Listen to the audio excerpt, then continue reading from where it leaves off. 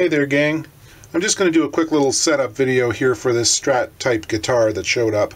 I don't know a whole lot about this guitar. It showed up in a case, it looks like a Fender USA from the 80s or early 90s. Um, the neck here has no identifying marks on it. There's no decal. There's no serial number.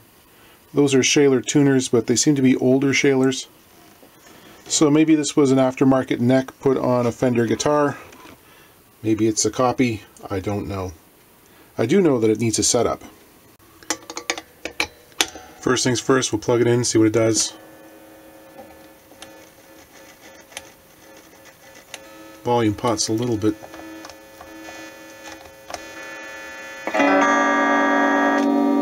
the switch is really stuck. It's been a long time since it's been cleaned. It always amazes me just how far away these things can drift from a factory setup. Um, the action here is pretty high. It's like 5 to 6 64ths on both the outside E strings. And actually just looking at the saddles here, uh, not a great situation for that high E I'm afraid.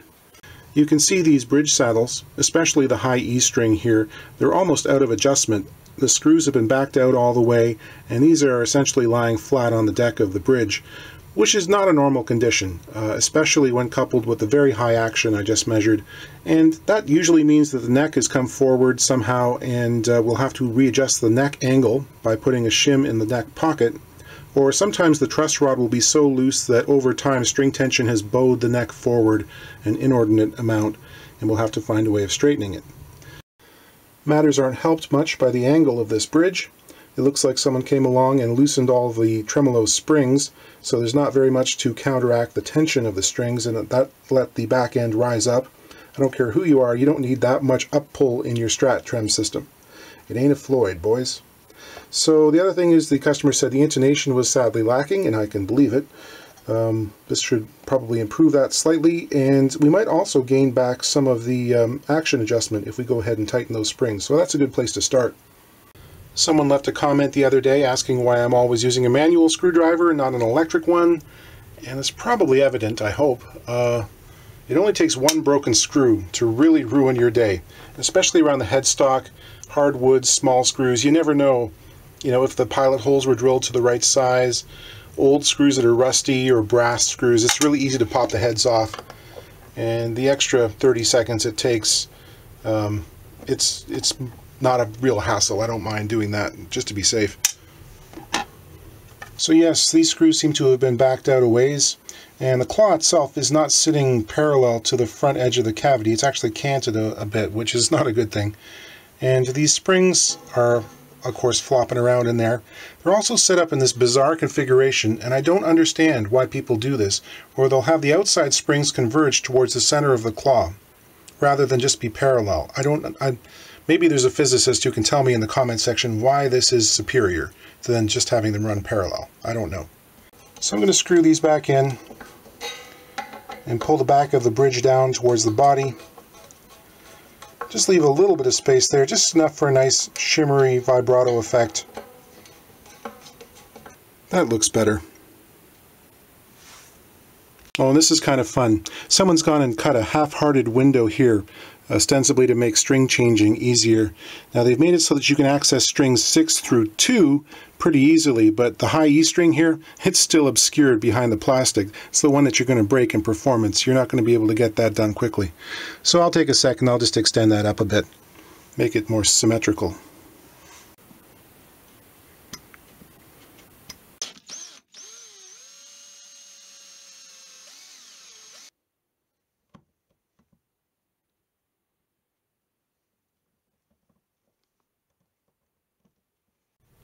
Go. It's much better. It's not included in your usual setup fee, but what are you going to do? See something like that and just leave it? No. It's more functional. Have a look at just how corroded the surface of these frets are. Crunchy. So next I'm going to check the neck relief here. Got a capo at the first fret holding the sixth string down around the body joint and I measure at the sixth fret I can already tell this is way high and yeah I like around 10 thousandths for an electric guitar. That's unacceptable. I mean, you can be lower than that, you can be a little bit higher than that. It's a good average. In this case, we're more than 25 thousandths of an inch. That's way too much. So here's the conundrum.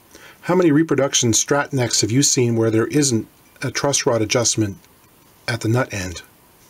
What do you think? Am I going to take that neck off and find a truss rod in this guitar? Only time will tell. So just for giggles, I'm going to measure the string length here, the scale length of this guitar. Something's a little bit funny. Just this bridge, um, the saddles are pushed all the way towards the back here. The, the springs uh, that adjust them are really, really tight. There's no movement left in them. And also the uh, screws are actually extending past the string holes. It made de-stringing this thing a little bit tough. And I got a sinking suspicion. It seems about right. Let's see what it looks like. The 12th fret here, half the scale length. Yeah, it looks a little bit more than 12 and 3 quarters, just a bit. I wonder. Yeah, so that's more like 325 millimeters. So I'm guessing this is actually a 65 uh, centimeter scale length, which would suggest this is maybe an Asian neck put on this guitar. It's just a little bit, it's about a 16th of an inch longer than a standard Fender scale. Not much, but just enough. So looking through the mounting screw holes, this thing's only held on by the two outside screws, and that's okay. People do that. It, it functions. It's enough to hold this in place. There are I can see little remnants of pilot holes there, which suggests this whole thing should probably move backwards about a 16th or 3 32nds of an inch. So, you know, like 2 millimeters um, from where it is, so that we can get better adjustability for the saddles and hopefully intonate this right. It's kind of a bummer, but what are you going to do? So I loosened those trem springs, which I had carefully tightened previously.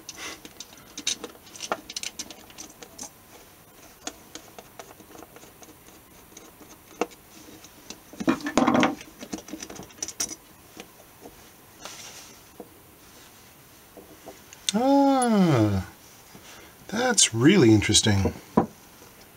It's got brass inserts. So what? Okay. I guess these were in the wood beneath the inserts. Well, we'll get rid of those. And we'll get the cover off and we can see what's underneath there too. Okay, have a look under here.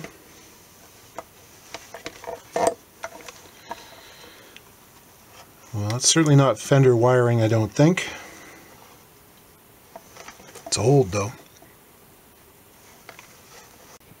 That pot there says DiMarzio.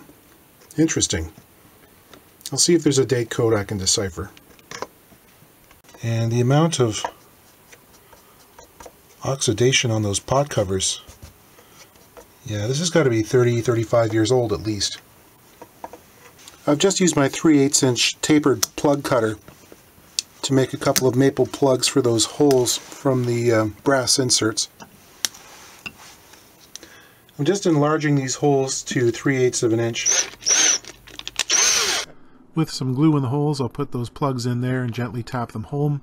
You can see that one side there, there's already some splits through the end grain, which I soaked with some super glue.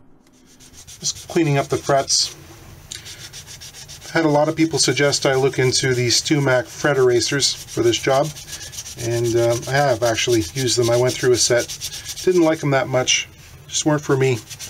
Um, by the time you get through 20 frets, there's a whole lot of this sort of rubber. It crumbs off and it's kind of gross.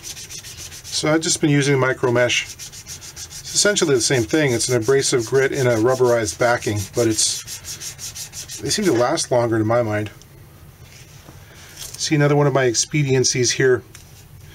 I, rather than tape off the entire board, which is kind of time consuming, for a job like this where I'm just polishing the frets, I'll just use a double uh, thickness of tape and um, put four or five frets at a time and then work my way up the board that way.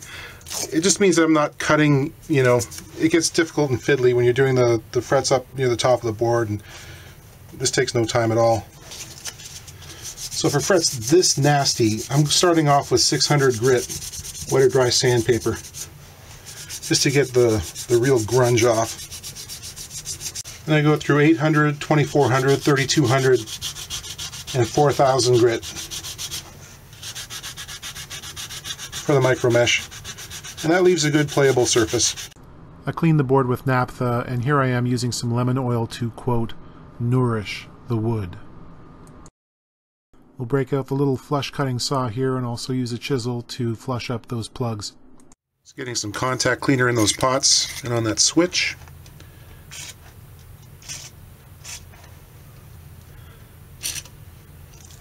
Messy stuff.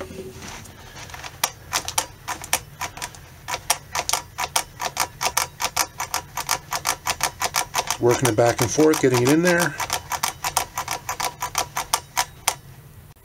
Naturally, when I was cleaning, one of the wires came off. I'm also going to take the time to reflow some of these solder joints here, especially these ground joints on the top. They look pretty dry.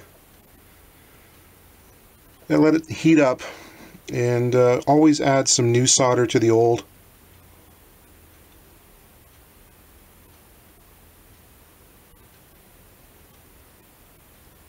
Let's put a little tension on the truss rod here. Going to give it close to a quarter turn, which is actually substantial. We'll see what that does when we put it back together. To make sure the strings are going to run properly relative to the neck, I stretch a thin string between the nut and the saddle and just check the spacing along the edge of the fingerboard.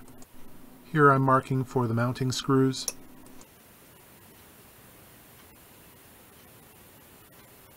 So with strings on here, we'll check the relief, and it looks like that truss rod adjustment worked in our favor, but not as much as we need down around 15 thousandths, which means I've got to take the neck off and do the adjustment, which is why repair guys hate this kind of neck. I'm adjusting the saddles so the string height and the radius are correct.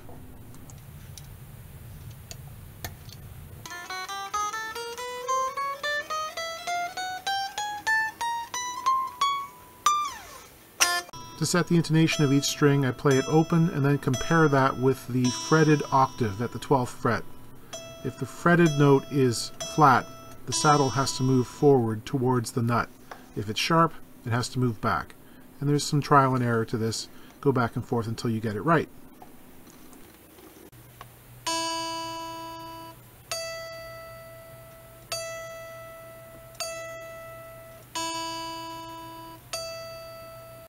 Time to set the pickup height, and these are pretty far off. I usually um, set them up to the factory spec, which is good for probably 90% of the players out there. It's a good middle of the road measurement. So on a Strat, that is about 3 seconds of an inch on the bass side and about a 16th on the treble. And we measure that by pressing the strings down at the last fret there and measure them from the pole piece to the underside of the strings. Okay, it's all set up, ready to go. For those who care, the action's around 3 64ths of an inch, which is about 0.8 millimeters, which is kind of nice for a lot of people. Still don't know what this thing is. Um, checking out all those DiMarzio electronics, one of them had a code on it. It said 8504, which means that could be, I suppose, April of 1985. That kind of fits in with the amount of uh, oxidation on those things. So whatever it is, plays nice. It's a good little strat.